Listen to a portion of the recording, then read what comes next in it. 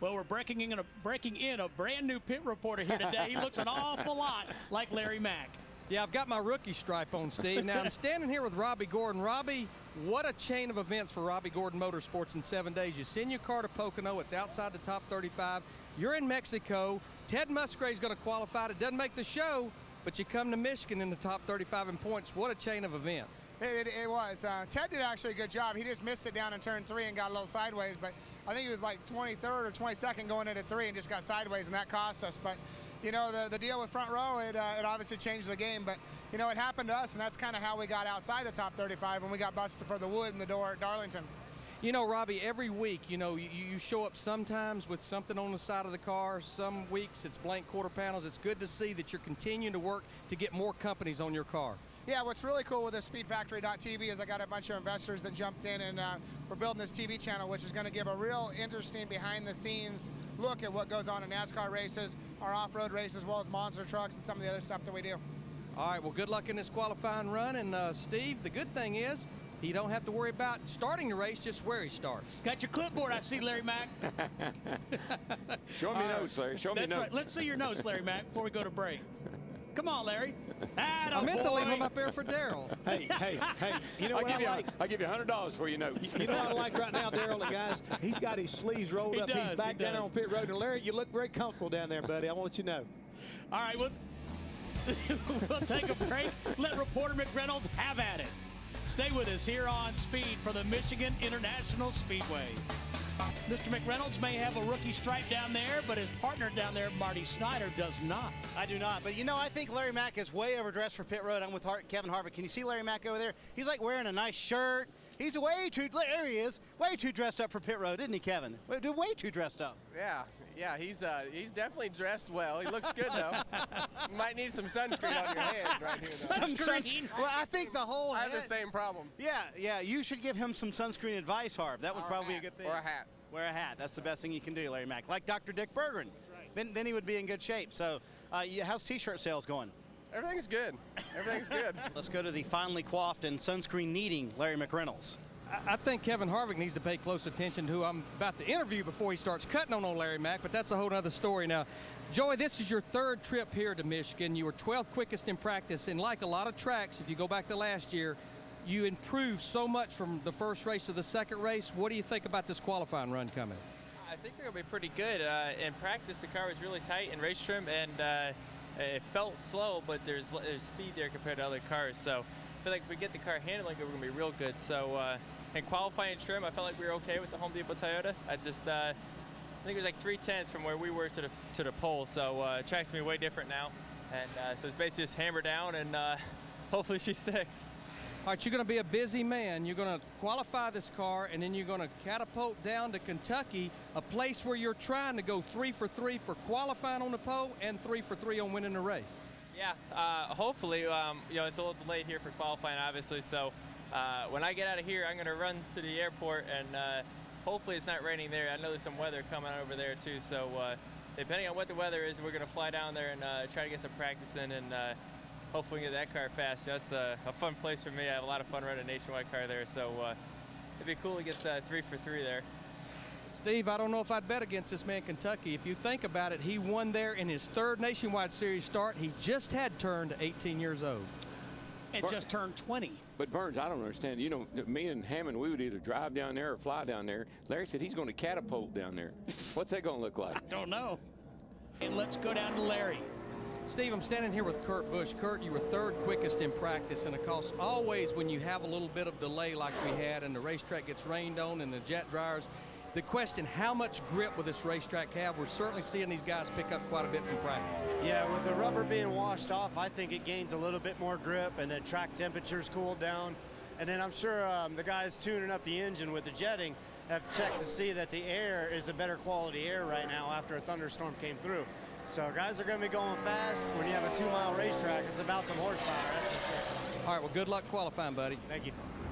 All right, Steve, a lot of these guys are anxious to get these two qualifying laps in because the forecast for tomorrow is a little iffy as well. Yeah, let's go to Larry Mac. Standing here with Kyle Busch. Kyle, you made one run with your 18 M&M's Toyota earlier in the day, the first of practice, and you about knew shortly into that run that something didn't exactly feel right. Yeah, we had a little bit of an engine problem. You know, it started vibrating and shaking, especially when I would start it up and shut it off. You know, you'd kind of feel it settle. Um, unfortunately for the guys, they had to go through a lot of work today and change the engine to get it ready to go with this M&M's pretzel car. But car was a little bit tight balance-wise, so maybe with the way that the suns came out and made this track a little slick, we'd be all right. Now, you sat on the pole last week at Pocono and you got that number one pit selection. And I'm telling you, number one pit selection at any racetrack we go to, you can't beat it. Even though you'll have to go to the rear of the field, there's still still a lot in this qualifying run. Yeah, definitely. I mean, like you said, it's about the only thing we're qualifying for is that pit selection. So hopefully we can get a good, solid uh, qualifying effort here where we can at least get a, a top 10 pick. You know, I don't know that uh, I don't know that we need anything better than that, but you know, I think that having a good car here Sunday will pay more than uh, than where you qualify today. All right, good luck, buddy. Marty Snider, I would not bet against this man not qualifying in the top 10. Larry? All right, I'm chasing the 2010 Prelude to the Dream feature winner, Jimmie Johnson. Uh, how about the dirt race the other night, man? You put it on him. You didn't lead the last lap, you led every lap. Yeah, a good qualifying effort really helped me, and I think that, that hurt me in years past. I would show up and uh, maybe had some bad habits from a test session or uh, just not enough experience and not, not run well in qualifying. And I put in a good lap and, and started, you know, on the pole because of the inversion, the way it worked out. And then ran 30 laps, which really turned into about 75 with all the cautions that we had and couldn't get the race started as hard as I could and held those guys off, man. It was, it was a lot of fun. And uh, came here and we've had a fast race car here too. I was going to say, speaking of qualifying, when you unloaded, you were actually in race trim and you still went to the top of the practice sheet. Yeah, I, we've seen that happen with other guys, and have always wondered, well, how, how'd they do that? And we did it today. I mean, there's so much grip that first, you know, five minutes being on race on the racetrack that uh, we laid down a good one. And right now things are kind of going the other way for us with the sun coming out. But I think we've got a good car and we've still got a shot at it. All right, well, guys, just remember this 48 car is still looking for their first pole here in 2010. Thank you, Marty. Hey, uh, Larry Mac, AJ's coming to the start finish line. You know what they say about AJ Allmendinger? He is a humdinger. Attaboy. and Steve, I'm here with Casey Mears. Uh, all right, Casey, you're in the car that has set on the last three poles here, won the race the last time we were here, and you know what? Casey Mears runs pretty good here at Michigan this has been a good track for me. I've, I've always enjoyed it. Um, but they definitely, you know, Brian just runs so well around this place, and, and obviously what they've worked on the last few years has worked well here. Um, we, we've worked real hard at trying to find out what it is that I need as com compared to what Brian is used to having. And uh, we've made some changes this week. I feel like we're going in the right direction for sure. Um, you know, we weren't quite where we wanted to be in qualifying, a little bit too free, but we made some adjustments, and we'll, we'll see how it goes here today.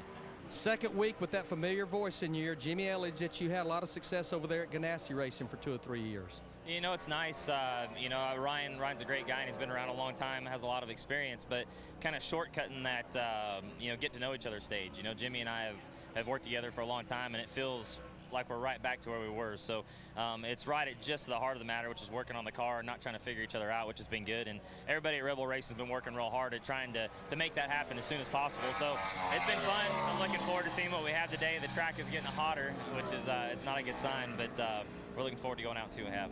And one thing I definitely will vouch for, it's getting hotter. I agree with Marty Snider. I believe I'm a little overdressed for pit road. Larry, you're going to need fresh makeup for trackside, which Casey Mears will join us for. And a fresh shirt. And fresh hairspray. y'all, y'all got to kill poor Larry down there. he volunteered for that, right? I well, think so. I thought you were supposed to be down there. Well, that's how, that's how come I know he volunteered. now, Larry, all right, I don't know about a goat, but if Darrell don't quit picking on me, I'll talk about a jackass or something. I don't know. I'm here with Sam Hornish, and Sam, I know you're getting ready to qualify here at Michigan, but what a run at Pocono last week to get up there and lead laps late in that race. Yeah, it was definitely good. Uh, the car was good all day long. We uh, didn't qualify as well as we'd like to, so it took us a while to get up there. Um, you know, ran you know between 10th and you know 15th most of the day, but just you know we're never going to get up there. So we uh, knew we had a little bit better fuel mileage than some other guys, and uh, we pitted early. Uh, everything played out real well. Got the lead, and uh, we just were hoping for no yellows, you know, and then we got three of them along the way, and uh, you know hurt us a little bit. But it was a great morale booster for all the guys on the Mobil 1 Dodge, and we'll just uh, you know go into this weekend see what we can do here. All right, good luck qualifying, buddy. Larry Mac. All right, Elliott, I want to make sure I do this right. Did I do it right? You actually you did very well. I'm proud of you. All right. Well, you're working hard down here. Your sleeves are rolled up, sweat just beading. All right, aside from what I'm doing, how about what Elliott Sadler's doing for? I think this may be one of the first times, other than the All Star race, that you've got to run the new FR9 engine. We, we are, and it's, it's definitely making a difference. Uh, I really like the response of it. It runs good off the bottom of the corner. Uh, Doug Yates and those guys have been working very, very hard to get him in, in all the Ford vehicles this weekend because it's such a big race here in, in Michigan. Uh, we want to run good this weekend. We're running for a million dollars this weekend, so uh, if we win the race, uh, Stanley's going to donate a million dollars to Canadian Tire Jumpstart. It's a great program in Canada that helps kids 4 to 18 years old get started in different sports and things like that. So it's all for the kids, I'm a big kid at heart, so a lot of pressure on us this weekend. You mind if I just keep this Coke? I'm a little thirsty. You, you look like you're working hard. You I am it. working hard. See you guys. I'm proud of you. Chug points. Larry, you might want to borrow his hat. I don't want you to get sunburned. I was going to say, Larry needs to put the Coke down and get him a hat. Martin Truex Jr., seventh overall of 14 drivers. Kurt Busch, the guy to beat. I hate bringing Larry back up, but you remember last time he got out in the sun and went to a tennis match? And he came- Yes. He came, to the Hall of Fame deal. Larry, be careful down there, buddy. He needs one of them bucket hats. You know, one of them Yep. you get way down in. Got a big long bill on the front of it. Larry looked like a tomato after that tennis match. Well, no. I think uh, I think Larry is actually a cucumber. I I think I would classify it as now a pack of jackasses up there. Now, I was trying to be serious. I didn't want you to get sunburned. The rest of them I can't speak about. Larry, I, Larry, I'm sorry, but I think I may have had some influence on these guys. Leading you there, isn't he? Yep, yep. well, you set them up, and sometimes somebody else knocks them down. I think Darrell's going fishing, and the problem is you and I are biting. Yeah, we are. Larry Mac.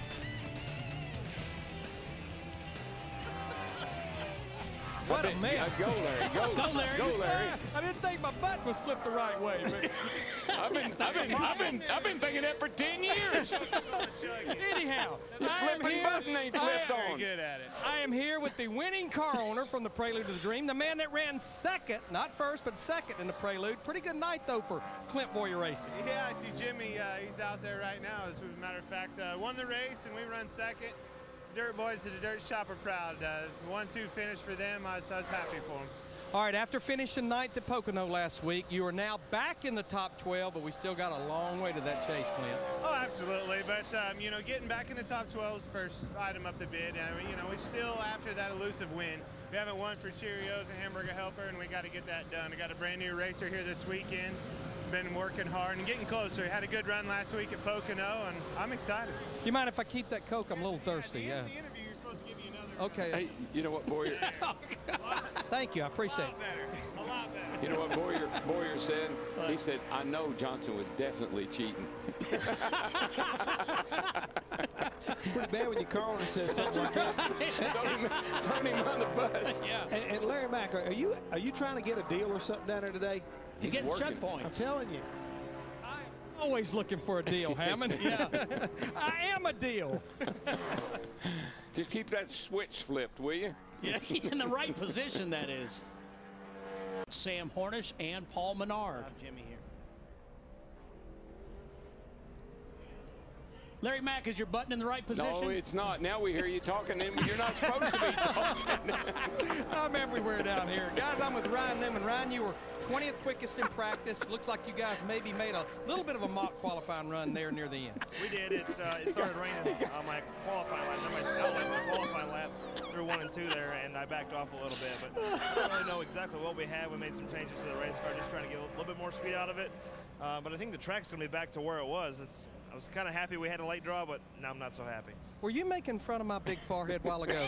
no, no, you're talking about Lindsay being blind. I said, well, I really can't tell what you are. All right, real, real quick. Did it again, or what happened? Look, work with you. You don't have to work with me. Just don't work against me. Big weekend for Army. It is. It's uh, their birthday this weekend. It was it 235? 225, I think. Sure. You want me to do this interview? I don't know. I know it's the birthday of the Army, so we're proud to represent the U.S. Army and all the soldiers out there, and we'll, we'll, we'll do our best today for giving them one heck of a lap. All right, good luck this weekend, buddy. Thank you. Hey, Larry, Hey. what you don't know is DW was just using the telestrator. Y'all are just wrong. Yeah. We, we just wanted to show how hard you're working. also happy to hear that Larry is out of control at the other end of pit road. He's so buttoned up and organized. I'm glad that he's finally unorganized. We need sunscreen, we need a hat, and uh, and a lot of things down there. I think. You think we could tune down his accent just a little bit? He makes up some words and says some really weird things from time to time.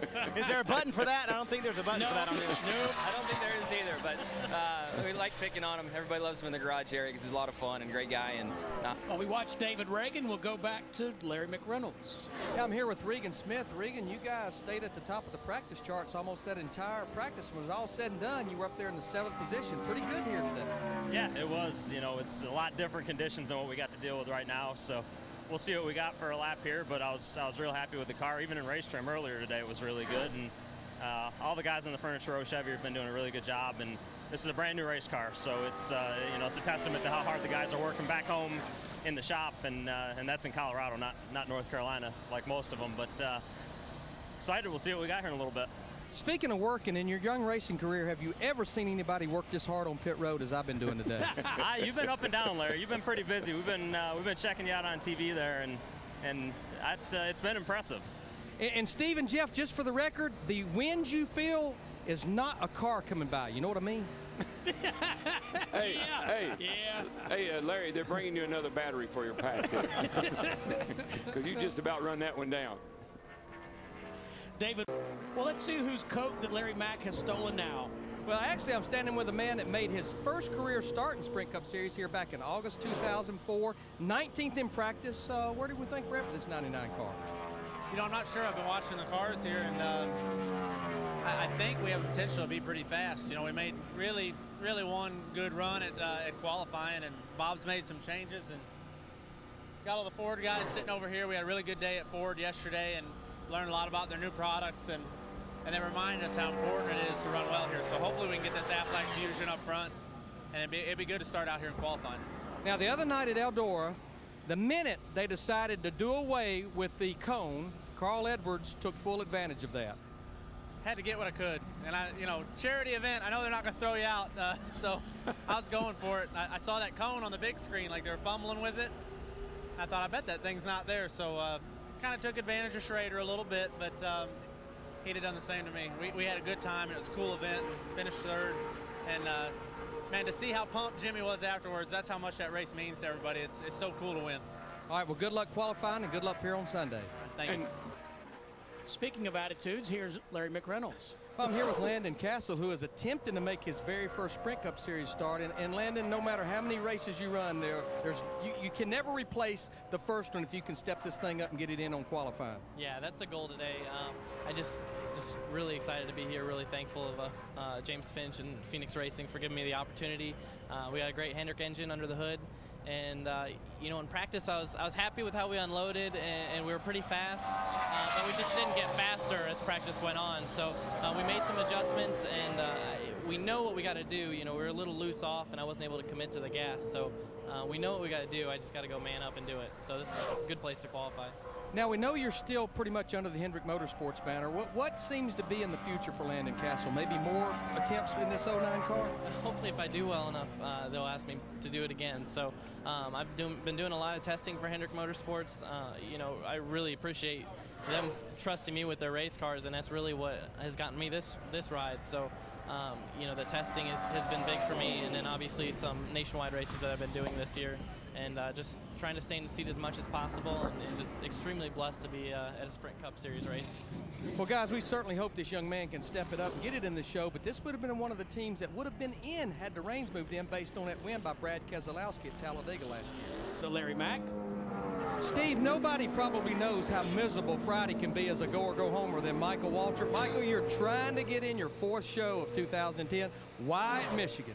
Well, we're going to race next week in uh, Sonoma. I've got a sponsor, Toyota Sponsify Your Car is on our on our Toyota Camry next week for Prism, and so I just wanted to remind myself of how miserable these days are when you've got to go make the show on time. I mean, I lived it two or three years ago, and I just needed a little bit of a refresher, I guess, to, to go out there and, and try to put this car in the show this week, get to know the guys a little bit, and be ready for next week. But I want to explain something to you. I do the truck races on speed up there in the booth. What a cushy job. Anybody could sit up there and talk. It's the men and women on pit road that sweat, that dig to get the stories that make a broadcast. If it weren't for you guys making the sacrifices you make and doing the things you do, those guys up in the booth wouldn't even have a job. So thank you, Larry. I appreciate what you're doing. I may be the first pit reporter in the history of NASCAR to pour Coca-Cola on myself. It looks good to you, but don't waste a drop. That Coca-Cola is good, right to the last drop. I'm a part-time driver, so I don't have one of them people to hand me my Coke when I need it. So I'm going to do a little bit of this. Ah. You know what they say in Alabama, don't you? That's two nice ones right there. I'm not sure what just happened. I'm be I'm be like Butch Cassidy and the Sundance Kid. Who are those guys? Who are those guys? Larry Mac, Regan Smith, just 22nd overall. All right, I'm here with Dave Blaney, and Dave, you and I were just talking. Had the rains moved in here and stayed, the 66 car would not have been in. At least you get a shot at getting in this thing, and Dave Blaney normally figures out how to make that happen. Yeah, we're still out at the moment until we uh, get in. So, uh, yeah, car's been okay today. We didn't get to make our last little sticker run there right before the rains came, but uh, track's kind of different. Things are kind of different, but who knows? Um, they got that thing where it'll, where it'll cut a lap, so we'll see what we got. You know, Dave, we sit up there in that booth week after week and watch how you guys qualify with nothing on the quarter panels. If people would only realize if y'all could get something to race, you might could race these boys. We do. We do actually have nice equipment. Um, they're year-old Waltrip cars, but but they're really nice. Um, the pro motors in them run good. We just don't have much of anything, but um, just a couple of guys do a really nice job. Bill Henderson and crew chief does a nice job on them, and they, like you say, they are competitive. They make nice laps, and um, yeah, who knows? Maybe here we'll get some uh, get some breaks and race a little bit. Well, guys, I've watched these go or go homers for a long time from the booth, but I'm going to tell you, being down here on pit road, watching these drivers and the teams, I mean, it is tense. 69, Larry Mac. All right, I'm with Max Papis, and I don't think anybody has any more fun when they actually are told on the radio that you are in than Max Papis. Max, you go back last week to Pocono, you stepped it up qualifying, qualified 20th. How about here today? As I was telling you, I feel confident in Geico Toyota. You know, the guys have been working really hard. We have a very, very, very good group of people, very dedicated people working at it. And uh, it's just a matter of having uh, enough time to get to put everything together and learn about it. You know, it's a difficult, it's the most difficult series I've ever run. And I feel confident about it. I am excited about it. I'm gonna try to get it out, uh, you know, back on the gas as hard as I can, and uh, you know, keep finger crossed. Well, I tell you what, guys, when he gets in, there's nobody that has more fun than Max Papis. Thanks, Larry. David Stremme up next. I don't know about that. I've been having a pretty good time with uh, Larry down on pit road myself. Just thinking that. Yeah, I think that's been turning. It worked out pretty well. I got a pair of sunglasses like that that uh, Juan had on. Do you look as good in them as he does? I'm going to loan them to Larry. I Oh, think are you going to them to Larry? I think that's exactly what he that would set him off down there on pit road. Oh yeah. Okay. That's his, that's the final piece of his outfit. Get one of those big bucket hats with the big bill and those sunglasses. See how many interviews he gets in. He looked like a tourist.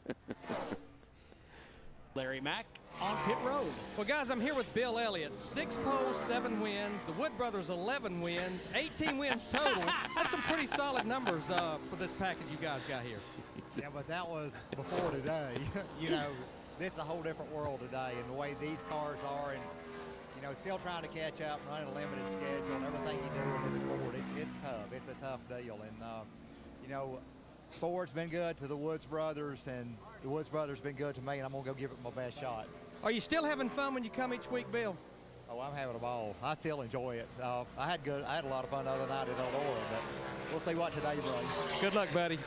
Guys, I found a hat just for the record. Perfect. I'm feeling thank, better. Thank you, Dudley Do Right.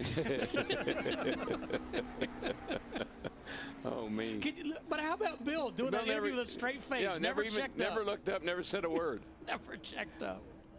Larry? Well, I'm here with the man that sat on the pole here in June of 2007, JJ Yeley. And uh, JJ, uh, you are the caboose of the Go Go Homers. We will know when you run. All of the anticipation will be over. Yeah, it's, it's really eating me up right now too. Um, you know, the uh, the Promise Village Speed Plant car has been really good.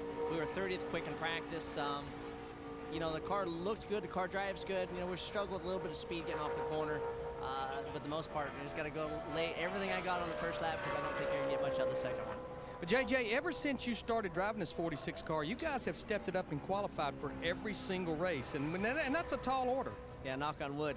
Uh, you know, Tony Furr, the guys have been working their butts off. I mean, there's only five guys at the shop, and they uh, they've given me a great race car every time we go on the racetrack. Um, you know, if it unloads good, drives good, it makes it easy to where you just, you know, you're fine tuned on the thing the whole day. It's when it unloads and it's a bucket that you're in trouble. So, so far things have been good. Uh, we'll hopefully keep the streak alive today. Well, good luck on this qualifying. And guys, as you can see, this is Larry Mac's last driver to interview. I'm done. Y'all can pick on somebody no, else. No. I'm out of here. Bye bye. Go to the garage. Go to the garage, Larry. Got to do the Go pole. I can't Gotta hear you. Got to do the pole. You're breaking winner. up. Yeah, go get the pole winner. I've seen this pose before. Walking off like that. What does that remind you of? We see that picture on trackside every now and then. Uh, the chef. yeah, the chef. in Atlanta. it looked exactly like the chef, didn't it? And Marty Snider is with him. Yeah, Steve, we were going to let Larry Mac do this interview, but I think he's out hat shopping I right think now. you're Try- right. Trying to I find some right. sunscreen or a hat or something. Uh,